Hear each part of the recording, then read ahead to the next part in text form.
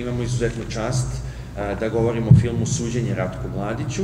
O tom filmu će za sada govoriti Peter McCloskey, on je bio tužilac, a očekujemo dolazak reditelja Henrya Singera i Roberta Millera, kao i producenta filma uh, Ida Van Brusgarda. Za početak, gospodinu Milleru ćemo poželjeti dobrodošlicu. Welcome to our festival in Belgrade. Uh, what was the uh, hardest part of your job during the trial? The hardest part of the job during the trial, um, well, it was probably meeting again for sometimes the sixth, seventh, eighth time with various victims that had been testifying ever since 2000 um, with the trial of General Krstic, and working with them to testify, you know, for the fifth or sixth time. At which point they are, we've learned that they're actually reliving the events in a horrible way. The first, first or second time they testified, it was sort of uh, cathartic for them to get out the story and they felt good about it. Then the, the third, the fourth, the fifth, it, it, you're taking them back through the nightmare and to actually travel with them through that pain to try to bring them into a courtroom to have to experience again it was re really awful, and um, we didn't always do it. We sometimes decided with them that, okay, we'll try to get your statement in um, in paper and, and, leave it alone. But going through that with the victims over and over again is, uh, is, is, very difficult, especially because you get to know these people over the years, and nobody wants to put them through it again. But it was so important for the trial that, that we had to. Your focus is on Srebrenica. Yes. This Is the hardest part? Um, th that's my whole 20 year career was investigating and prosecuting uh, Srebrenica, and uh, yeah, it's, a, it's a, an enormous, large scale crime, incredible suffering, and uh, so that uh, was something you know we had to deal with and get used to. And the, a lot of the investigation involved uh, exhumations and uh, working with the forensic experts at the gravesite and um, dealing with the remains of people. So that got to, that that takes its toll, especially when you're talking about years. Uh, how many victims is in Srebrenica? Well, it, it, you know, victims get you know defined um, in many ways. If you're talking about family that lost people, um, one or more, many families were completely obliterated, 30, 40 people. Um, we know that there were 6,000 people taken from mass graves that have been identified by DNA. There's roughly another thousand that have been taken from the woods or from execution sites that have been identified by DNA. And we know there's roughly 1,000, 1,500 more that are, have been noted as missing by their families and have not, uh, have not yet and may never be found. So those are the actual dead, some seven to 8,000, uh, 7,000, over 7,000 murder victims. Um, and perhaps a thousand died in combat or in area in, in unknown reasons, and then all their family members, you know, 20, 30, 40, 50,000.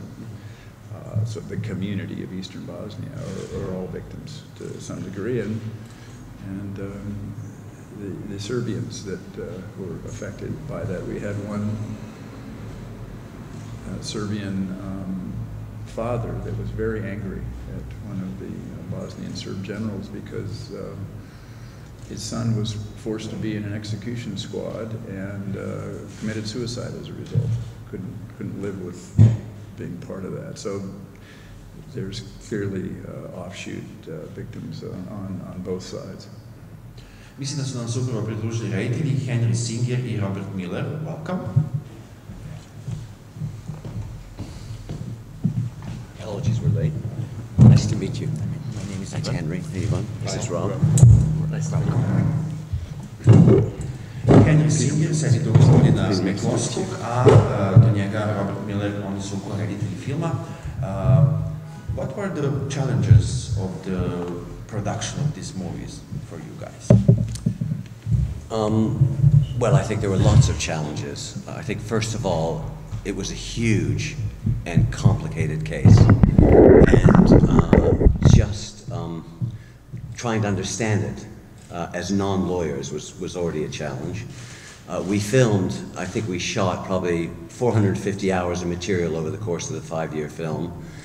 And when it came to editing it, that, that's obviously a huge amount of material. We had access to all of the uh, arc, we had access to all the testimony of the trial, and of course we had archive uh, footage from, from the war and the aftermath of the war. So I think we had close to a thousand hours of footage.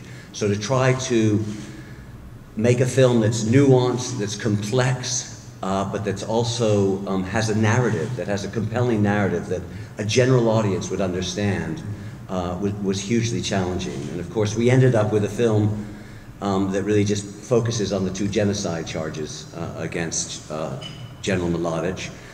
But even with, and that, even reducing it to that, we had to reduce that even more because, of course, if you look at our film and you look at the number of witnesses, uh, our film is a tiny sliver of the trial, but we hope that looking, we hope we've created a narrative and that looking at those two genocide charges, and, and, and Peter McCloskey's in a, as good a position as anybody to judge whether we did this, that we, we reflected in some way uh, the complexity and the epic nature of the, of, of the trial. Um, I think, I think as, as Henry said, to distill the, the, the, trial, which is a very complex process that happened over five years, into uh, a hundred um, minute film was really challenging. Um, I think that, I mean, key, you're making, a, you're making the film for, for an uh, audience in the, the Balkans and in Bosnia that lived through the war and has very intimate and personal experience of the war, but you're also making a film for the out, outside world. So we were very kind of conscious of providing enough information for people who knew nothing about Bosnia um, or very little about Bosnia to understand the significance of what was going on. Um, uh, but we had to get the balance right in terms of not supplying so much information that it would start to detract uh, from the emotion um, of what they were watching. Because yes, you know, the, the film is about a trial, it's about a process, but fundamentally it's about human beings. Um, and I think the more information that you supply, the more that you can obstruct that kind of connection and empathy. So um, to make it accessible, to make it understandable, to find a narrative line that people will want to engage with and follow, um, um, I think you know was really kind of one of the one of the biggest uh, challenges that that we faced. Ratko Mladic is a hero for some Serbs and a criminal for the Bosnian people. Where is the line between these two? I'm not sure there is a line between these two. Uh, you know, I, I, think if you watch the film, and I don't know if members of the press have watched it yet, I think we end the film, I think, with a suggestion that uh, the verdict um, hasn't in any way unified um, uh, onlookers. I think, I think Rob and I perhaps went into this slightly naively that um, people will just uh, accept and respect the court's judgment, but in fact, um, I think the region is so polarized and feelings about General Mladic are, are, are, so extreme that in many ways I think one could argue that the, that the court process has perhaps in the short term uh, made that worse. So I don't, I, don't, I don't think the film tries to, I think the film just tries to reflect the court and the court process and the court verdict. Um, and I think if you watch the film and I think if you get a sense of people in the region, there, there isn't a line, there isn't overlap at the moment. I don't. I think if in any, in, in most cases, it's probably hardened uh, the, the, separation. Uh, but I think what, what the film attempts to do by filming with both the prosecution and the defence, um, and with victims. Uh, incredibly brave victims that come to give evidence, uh, and with Mladic's supporters, is trying to understand those differing perceptions. Um, you know, coming from uh, the UK, we have a particular understanding of, of, of, of General Mladic, um, but clearly he has a huge amount of uh, support both you know, in Serbia to a degree, and in and then particularly in the Republika Srpska, um, and it was important we felt to try and, and understand why why that was.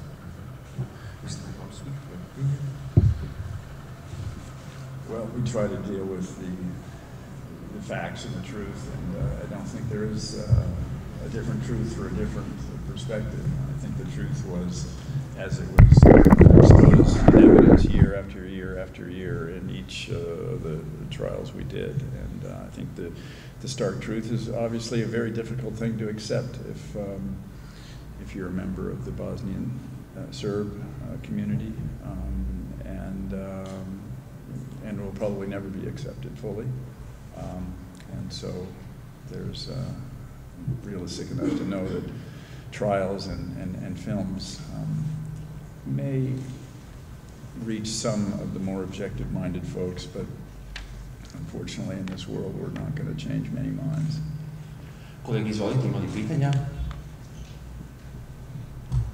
Izvolite.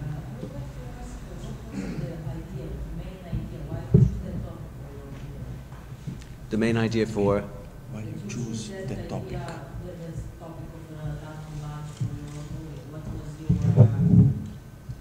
I'll, I- I'll answer, I'll answer for myself, and I'm sure Rob will, subject. I think I personally felt that this was a um, historic trial, and the work of the ICTY was historic. Um, uh, it's kind of, and Pete knows more about this than I do, but um, uh, it's extraordinary that the ICTY came into being in the first place, uh, and we certainly won't see anything like that in the in the at the moment, given uh, the developments around the world and um, you know the Security Council.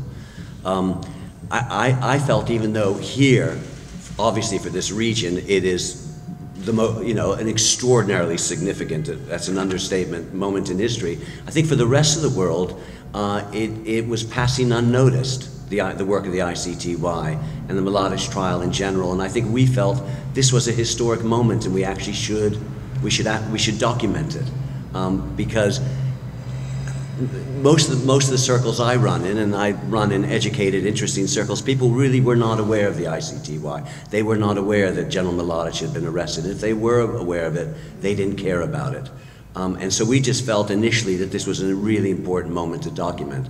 I think as we were making the film, I think it became that, that kind of shifted, and we, as we've seen the rise of sort of populism and nationalism around the world, I think the, the film becomes more germane, becomes more, more pertinent. So I think we were, we were glad that we set off on making, on making this film, uh, but the reasons for making it sort of slightly shifted and, and kept us going. I, I, I mean, I, we obviously spent a lot of time together over the last six years discussing our uh, motivations. Um, I, uh, I, I think initially when we made the approach to the tribunal when General Mladic was arrested, it was because it felt like a historic moment. Um, we weren't um, experts or authorities on what happened in the former Yugoslavia, but um, the name Mladic was familiar, certainly as a kind of prominent figure. So when we started filming after a kind of year of access negotiations with the tribunal, it, it, it felt like a kind of enormous privilege to be on the inside when um, history is being made. Um, as we, as the filming progressed and we got to know people from the region, um, victims that came to give evidence, um, uh, supporters, um, we, I think we began to appreciate how polarized Bosnia still is. Um, and that polarization was encapsulated in Mladic himself. Um, and we also came to appreciate the significance of the trial for those people that, through the process of the filming, we really began to care about, and for a country we really began to care about. Um, and then I think, thirdly, um, uh, I think that there's a, a, kind of a relevance, there's a kind of global relevance um, beyond uh, Bosnia and the Balkans of the tribunal and the, the blueprint of justice that it represents. Um, and um, whether it, it, offers a way forward to other countries that are uh, struggling uh, to emerge from the darkness of war um, and uh, whether it, it, could be a way, sadly, with so many crimes being kind of committed around the world, uh, to deliver um, justice to, to victims. So it was a combination of the historic, but uh, uh, it felt that there was a very kind of contemporary um, and urgent uh, significance to what was happening in that building. Um, as I said, it, it, felt it was a real privilege uh, that the tribunal and the lawyers and witnesses that came to give evidence from both sides, um, you know, agreed to film and um, allowed us to kind of tell that, that story, which, you know, we're, as I said, very pri- feel very privileged to be able to have been able to tell. Има ли još pitanja, kolege, izvolite. Izvolite. What is describe behavior or general knowledge during the in behavior in courtroom during the testimony of witness of pros- prosecution? Uh, The vast majority of the time, which didn't make it on television, uh, he was um, polite, quiet, listening, engaged uh, with each witness, with the arguments, and uh, very much um, involved in the process. From my seat across the room, um, he was a normal uh, accused. And with some exceptions, during exceptionally stressful times, he would act out, which is what the, uh, the public probably sees more of. But the vast majority of the time, he was um, a, general charged with very serious crimes that was listening very carefully to the evidence and reacting to it, um, but in a, a normal and reasonable way in most cases. When victims testified, he was shaken. You could see that he was shaken like the court was. Um, and when he disagreed with uh, witnesses, you could see he disagreed, but it was all very normal from, from my perspective as a prosecutor, with the exceptions that you would have seen at his, uh, at his judgment and at other times. But most of the time, uh, he was together, he was uh, himself. Odgovorom. Ja se zahvaljujem našim gostima. Thank you so much. Enjoying the festival.